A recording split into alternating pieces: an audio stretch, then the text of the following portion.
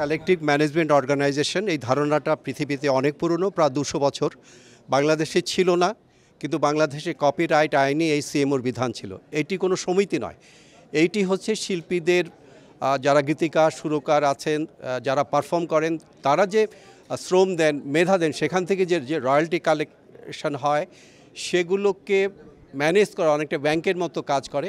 বাংলাদেশি শিল্পীদের স্বার্থ যেমন এরা দেখে তেমনিভাবে বিদেশি বাংলাদেশের শিল্পীদের স্বার্থ দেখা এবং বিদেশি শিল্পীদের বাংলাদেশের স্বার্থ দেখার জন্যই এই সিএমও সৃষ্টি হচ্ছে এখানে গীতিকার সুরকার, পারফর্মার যারা আছেন, তাদেরকে আমরা সমন্বিত করার চেষ্টা করেছি। সকল সেক্টরের প্রতিনিধিরা আছে। এইখানে ধারণাটি নতুন হলেও ধীরে ধীরে এটি আরও বেশি মানুষ জানবে এবং অধিক সংখ্যক শিল্পীরা এর ছায়াতলে অথবা এর এর আওতায় এসে তাদের নিজস্ব স্বার্থ সংরক্ষণ করতে পারবে বলে আমি আন্তরিকভাবে বিশ্বাস করি।